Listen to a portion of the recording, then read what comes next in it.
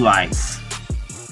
It's like the lottery. You know, one day you're broke on YouTube, you know, with 35 subscribers, and you play the lotto ticket the next day, and then suddenly something happens, right?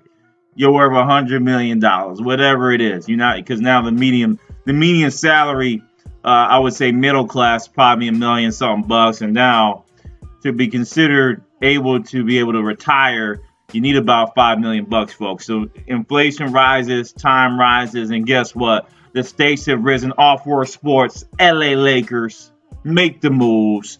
Realize LeBron James is 35 years old and are saying there's no time but now for us to make the move. And the move happened yesterday. Did a quick video Anthony Davis joins the squad. Anthony Davis joins the squad. So what happens here, right? Quickly to go over the trade and what happened was the talk of the night. You can see it. Um, again, moves. Okay, what do they lose? What do they lose in this transaction? The Lakers lose. Let's look at their depth chart instead of looking at the uh, the, the the Kia highlights here. Okay, they lose Lonzo Ball, Brandon Ingram, Josh Hart, and a fourth round pick.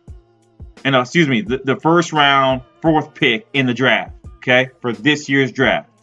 Everyone was talking about where they're gonna go in the draft. Garland, DeAndre Hunter. I didn't like that play, right? But anyway, I like Garland, so I'm gonna keep talking about Garland. But Hunter, Culver, several players they could get. Those three get traded over to the Pelicans for Anthony Davis. And the depth chart is simple. When you look at the team, let's go. Let's just go ahead and look at the uh, depth chart for the Lakers. I pulled this up. 10 points a game, gone. 18 points a game, gone. That's 28 points, right? Then you lose Josh Hart. Where's Josh Hart out on this roster? Josh Hart is eight points. What's funny to me, guys, Josh Hart with the number of minutes he gets. Look at Lonzo and Josh Hart's number. Even though Lonzo affects the game in different ways, remember he's probably getting half the minutes Lonzo's getting, but look what he's producing. So Josh Hart is a steal, a six man of the year candidate in the future, definitely for the New Orleans Pelicans. They also get Brandon Ingram, a surefire shooting guard who's going to pay dividends. I call him Kevin Durant light. Doesn't have the fluidity of Kevin Durant, but is as long as him and can score like him. Lonzo Ball, he comes to me as the Jason Kidd with more defense and no shot.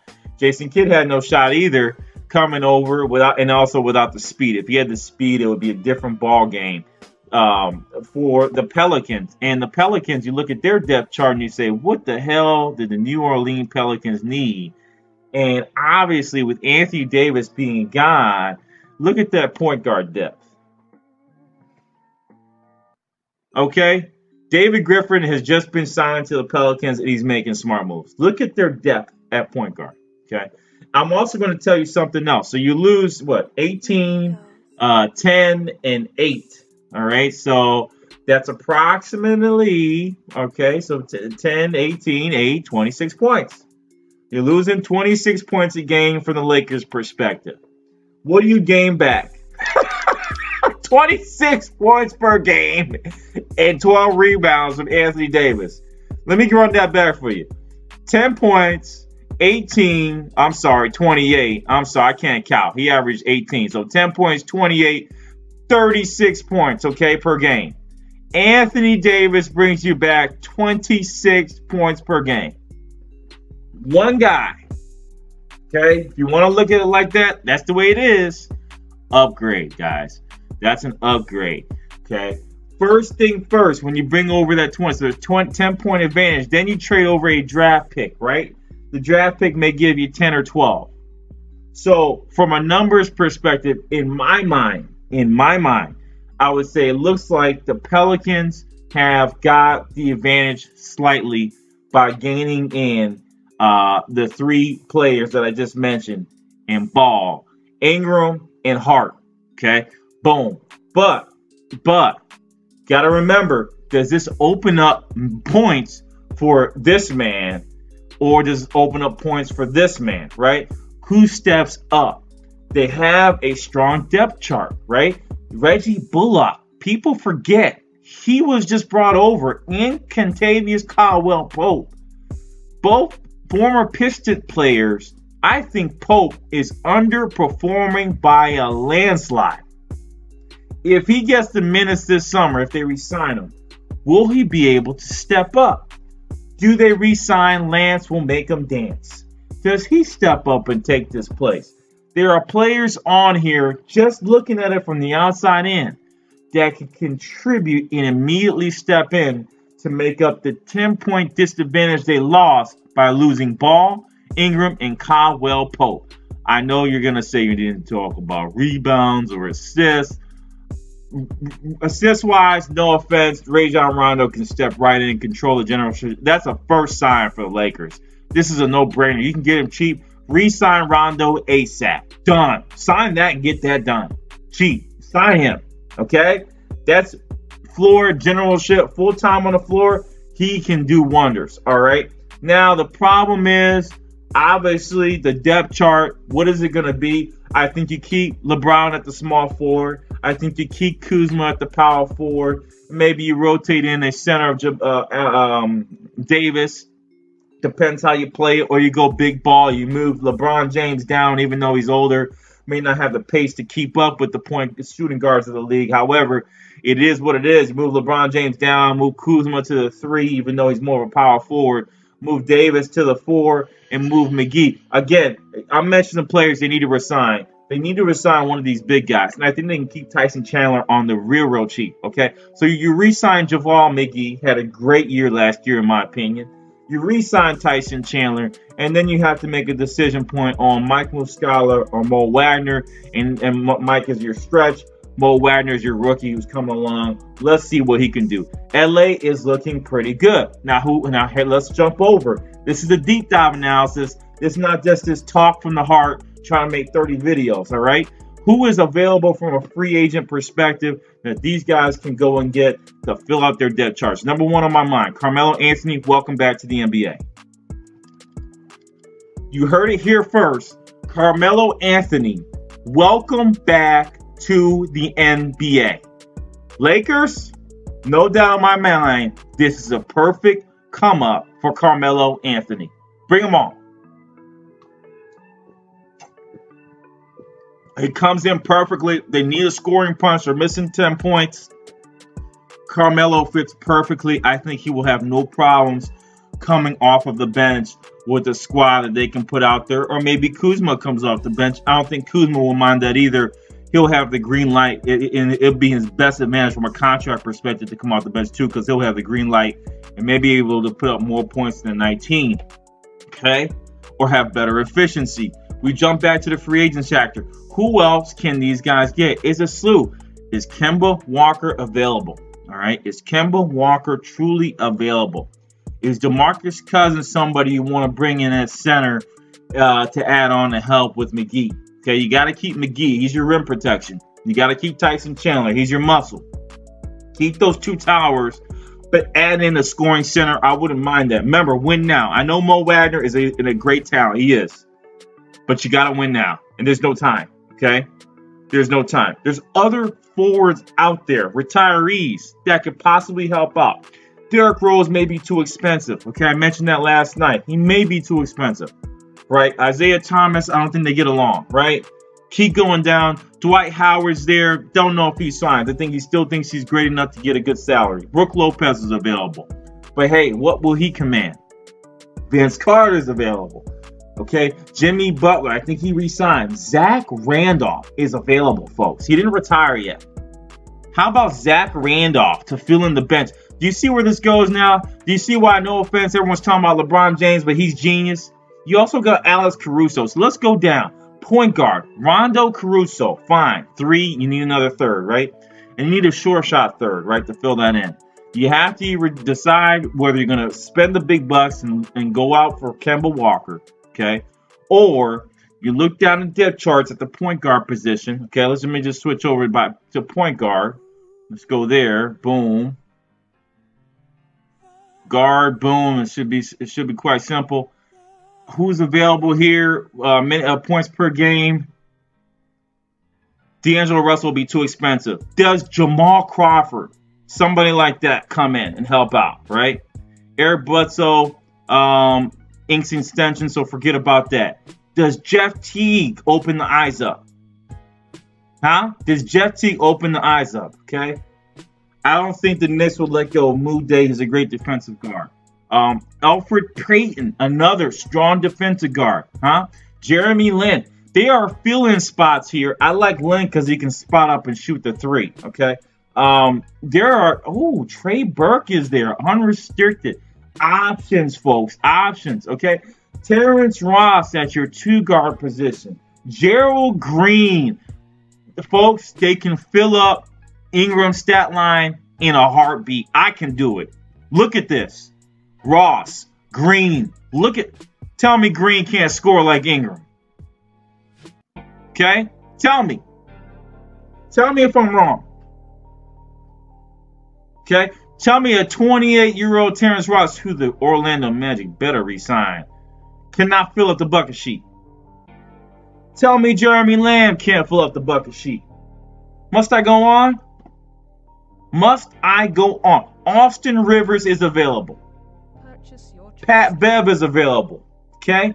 Ben McLemore is available. Kent Bazemore, right? If, they, if they're going to match him, right? I can go on and on. MarShon Brooks, huh? What do you about about that? Ish Smith, the quick guard. Quinn Cook. Terry Rozier, he's restricted. He'll resign, right? He'll resign. Again, there are players out here by the boatload. When you really look at it, you say, "Oh, you know what? you know what? That wasn't that wasn't such a bad move."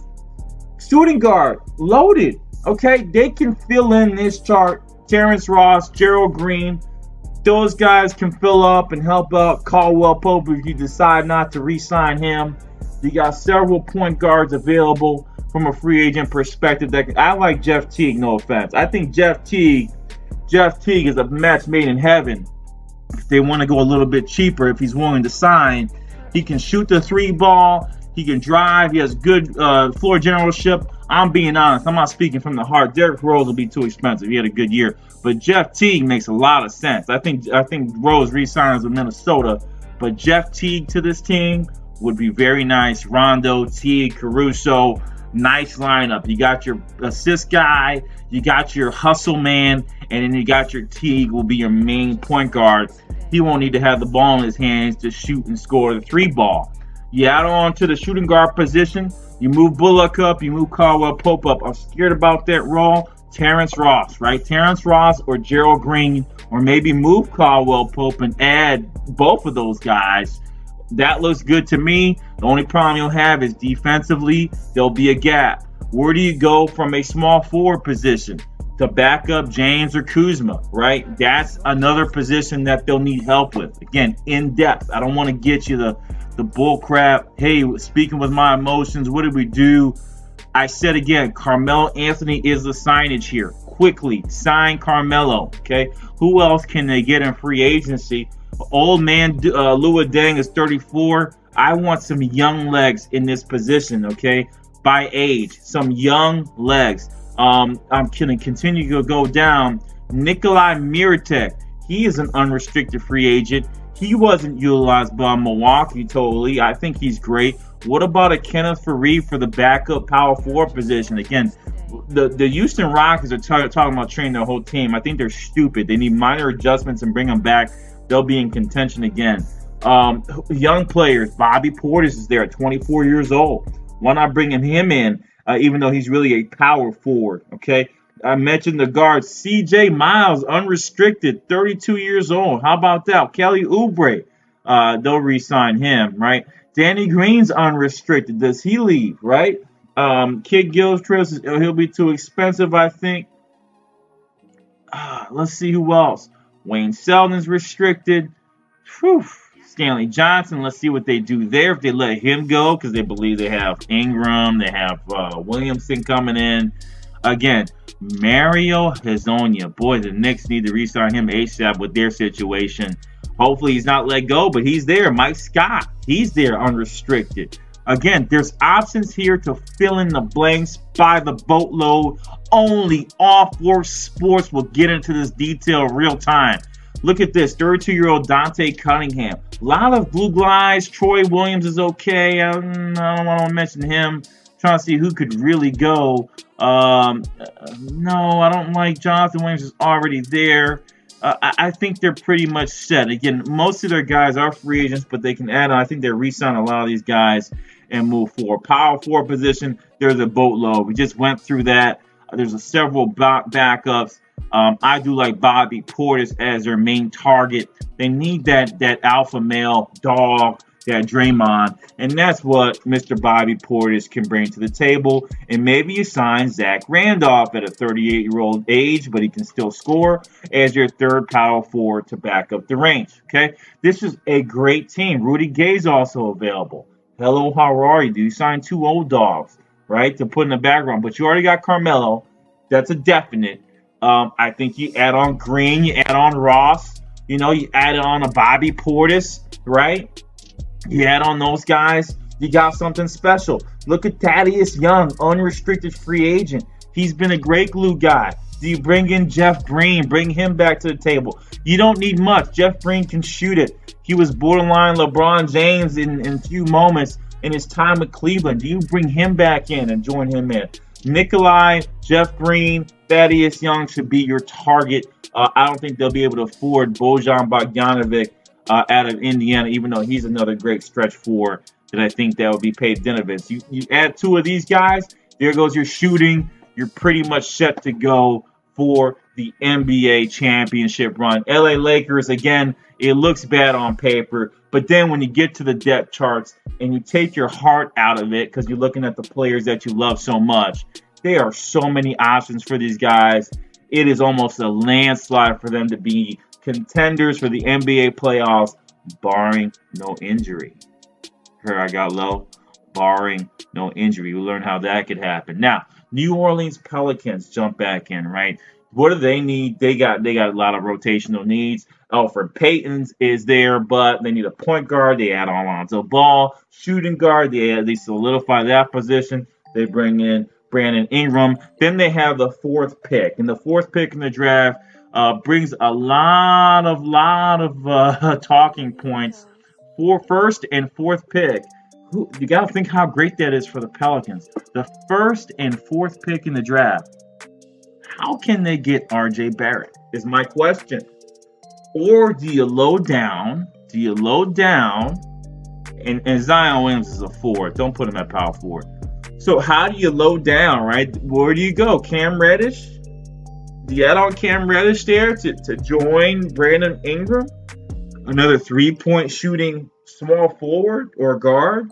Rejoin those two? Uh, interesting play. Darius Garland's a point guard that can shoot. He's like a guard. That's why I say he's there. But they kind of got a guard already. People forget about Frank Jackson. Frank Jackson's going to have a breakout season. He could be a six man of the year for the team. Exciting score. He's out of Duke as well, all Duke team. You know, how do you play this? I mean, how scary do you want to get? Could you could you finagle a Jrue Holiday and a uh, hmm, who else could they trade? I was thinking, how could they go all Duke and bring in um, Reddish and uh, RJ Barrett? It's just not possible. But you know, if you really wanted, you know, could you do? Could you do? Could you keep the fourth pick? Trade Brandon Ingram and there's not enough there. I'm trying to figure out could they get an eighth or tenth pick and bring an all Duke team to this? I mean, that would be exciting because Okafor is also a Dookie. Okafor, so let me get let me get down to business instead of imagining things that probably won't happen. So you add in Ingram, maybe you add on Reddish here, right? I like Stanley Johnson. I hope they re-sign him. I hope he gets a chance. Stanley Johnson to me is a step above Cam Reddish at this time. Neg me if you want. He just hasn't had the opportunity to, to let loose. But Stan Johnson is an exciting player. Uh, but you add in Cam Reddish here, right?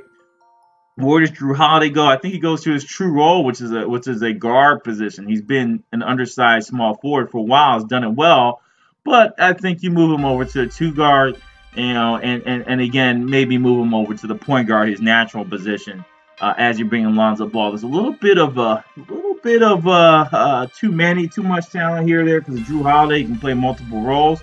But a lot of talent is just not a, a stopping point because as you can see what happened to the Warriors. So Stanley Johnson, maybe a Cam Reddish here. In, in my opinion, the best move for the Pelicans would be to trade down. Okay, it's very easy for me to say this. Just trade down. Um, Garland, you already got Holiday there. You need three point shooting. You know, I think it's either Reddish or uh, trade down, get Reddish, maybe get the, the eighth or tenth slot. And where I'm going to here is how badly do um, the the Atlanta Hawks want to move up, and who do they want to get? I have no clue. I mapped their schedule out, and I already said that they should keep their eight and ten slot. But hey, teams make moves the way they want to make moves. They got they're playing chess, and I'm kind of playing checkers in some ways. I'm just looking at the next move. So, you know, if they want to trade down, trade down. Take the 8, 10, maybe get a 17 as well. And then you add on a couple of players there, right? Cam Reddish will be available there. Maybe a Bol Bol, take a risk there. I mean, there's several players you can take a risk with at that opportunity. Cam Johnson's another stretch. Uh, what I see here they need is obviously shooting. There's nothing there. Uh, you got to re-sign Julius Randle, in my opinion. Um, now he's going to have the the gates, the floodgates uh, opened up. And you got to remember at center position, look at the point percentage. Christian Wood had a great, great season last year. You re-sign him.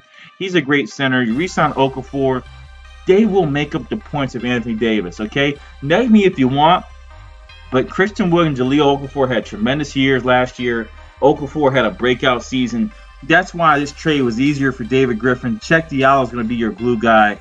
I really like this team. A lot of options. I hope they trade down the pick and get more assets and then move on from there. Uh, and we'll see what happens. Again, Julius Randle and and uh, Zion, I think, will be able to play together. You'll have a little bit of a of, of a uh, you know, a tight uh, between a rock and a hard place with all the depth that you have. Uh, bringing in, you know, a Cam Reddish, somebody to this position, along with a Zion Williamson here. But it is what it is. Let the cards fall where they may. Stan Johnson, these guys may have to be the second, second, uh, second role players that come into the game and make things happen. I like this team. Um, Elfrid is a free agent. Do you re-sign him? I say it's a why not if you just have Lonzo Ball and Jrue Holiday can come in as your first guard. Now, the problem is you're, you're going to be missing out on scoring at the point guard position, but maybe you can make it up here by drafting a Cam. You got Frank, who's going to be able to shoot. You know, you got two scores, and maybe Stanley Johnson can improve upon that, and then you'll have you got your three, three, three-point shooters there. You let the rest of these guys go. Get exciting time depth chart wise. I think it's very easy for me to see the Lakers have about you know 30 million left over, 32 million so Los Angeles can play and get a big guy, or they can fill out their rotation. Right underneath them is the Pelicans, who I think save money, trade all the big money guys, and start the rebuild. Exciting night last night. Big trade. I gave you the full depth analysis on what I think should happen. Off Work Sports a little long, but worth it. I'm out. Peace.